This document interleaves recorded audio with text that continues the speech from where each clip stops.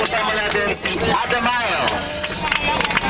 Ang inyong point person for today is si Kuya Abe.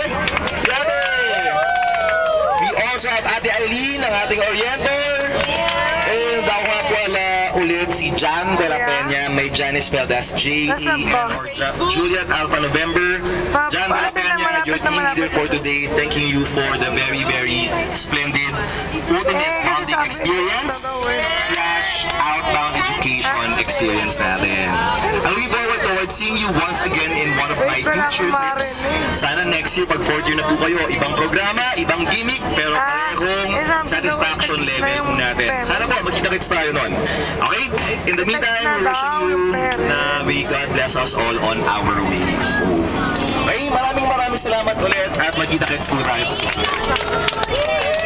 Ano ba naman